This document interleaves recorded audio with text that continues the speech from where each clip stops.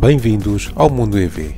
Nesta edição vamos perceber as dificuldades da Toyota na transição para a mobilidade elétrica, conhecer a nova scooter elétrica da SEAT, revelar todos os detalhes da criação este ano de uma verdadeira rede de postos ultra-rápidos em território nacional, conhecer onde vai ser celebrado este ano o Encontro Nacional de Utilizadores de Veículos Elétricos.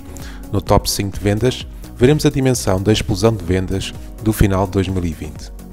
Mas antes de começarmos, e se ainda não o fez, não se esqueça de subscrever este canal e ativar os alertas para que seja notificado sempre que for carregado um novo vídeo.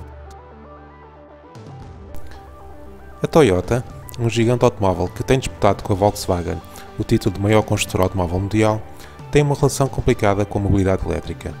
Sendo pioneira com as preocupações ambientais ao ter desenvolvido a tecnologia de veículos híbridos nos anos 90, com o Prius, no entanto, sempre demonstrou desconfiança em relação a veículos elétricos baseados exclusivamente em baterias de lítio.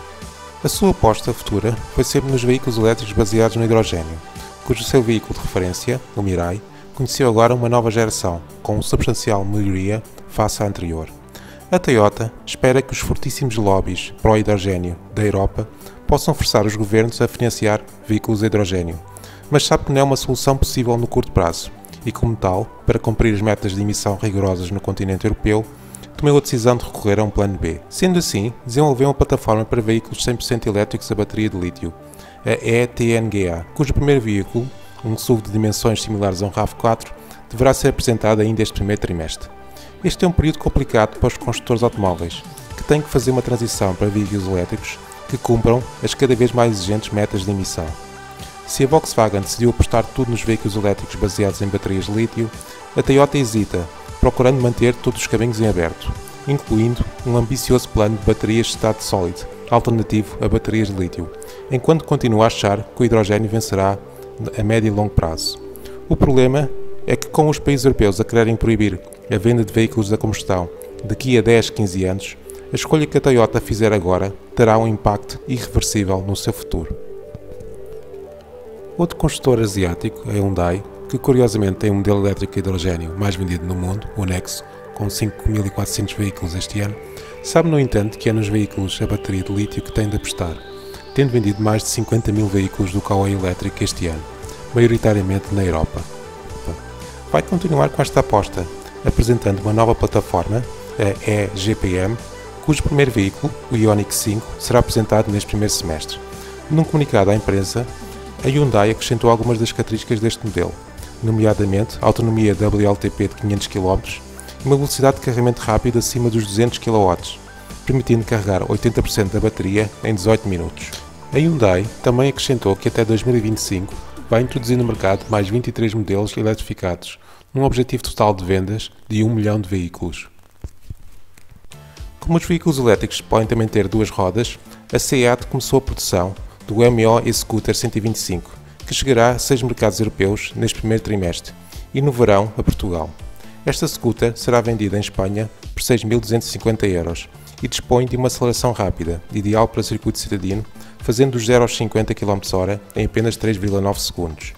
Dispõe de uma autonomia de 125 km, mas as baterias são movíveis, facilitando o carregamento em qualquer tomada.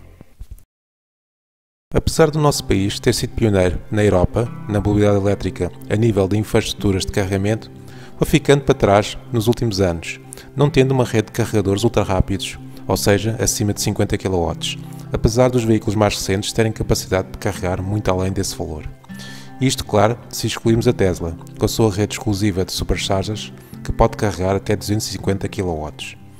No entanto, esta desvantagem vai desaparecer em poucos meses, foi inaugurado no Conselho de Oeiras o primeiro carregador ultra rápido, com 160 kW, de um total de 19 que este município vai, decidiu instalar. A Mobile, por seu lado, lançou um concurso para 10 hubs de carregamento, que incluirão cada um um posto ultra rápido e a serem concluídos neste primeiro semestre. A rede europeia Ionity, como vimos na edição passada do Mundo EV, iniciou a sua expansão para Portugal, estando neste momento com quatro estações em construção, a serem concluídas neste primeiro trimestre. Finalmente, no mês passado, a Brisa lançou o projeto do Via Verde Electric, que, em conjunto com vários parceiros, incluindo a Ionity, vai equipar as suas áreas de serviço com postos de carregamento duplos, um dos quais um posto ultra rápido.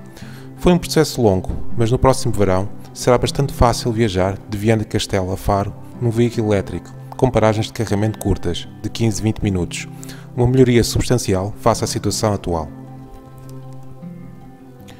Nos serviços de pesquisa da Google, nomeadamente o Google Maps e o Android Auto, passaram a constar informação sobre a rede pública de postos de carregamento, incluindo informação sobre o número e tipos de tomadas e a sua disponibilidade. A Associação de Utilizadores de Veículos Elétricos anunciou que o seu encontro anual vai realizar-se este ano, em junho, na Figueira da Foz. Neste evento estão sempre representados de forma oficial as principais marcas automóveis, que aproveitam para apresentar os seus veículos elétricos à venda no mercado nacional. Como tal, é um espaço privilegiado para aqueles que querem saber mais sobre veículos elétricos, podendo beneficiar de test drives e retirar dúvidas com utilizadores destes veículos. Também, como habitualmente, existem espaços de debate sobre o tema da mobilidade elétrica. Vejamos agora o top 5 de vendas nos principais mercados. Na China, o Wuling Wangguang Mini EV voltou a bater mais um recorde mensal de vendas, com 33 mil veículos, aproximando-se em termos acumulados do Tesla Model 3, que mesmo assim deve terminar 2020 como o veículo elétrico mais vendido na China.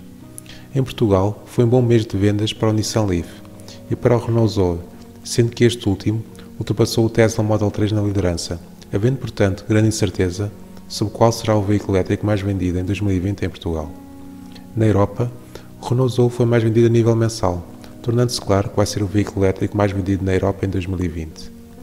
Nas vendas mundiais, o Tesla Model 3, que repetirá o título de veículo elétrico mais vendido no mundo, já ultrapassou os 300 mil veículos vendidos, mais do que em 2019, quando ainda falta apurar o mês de dezembro. Despedimos aqui, convidando a ver as apresentações da Toyota e da Hyundai sobre as suas novas plataformas elétricas. Se gostou desta edição do Mundo EV, e pretender mais e melhor no futuro, não se esqueça de subscrever este canal e pôr um like. Não custa nada e prometo que voltaremos daqui a um mês.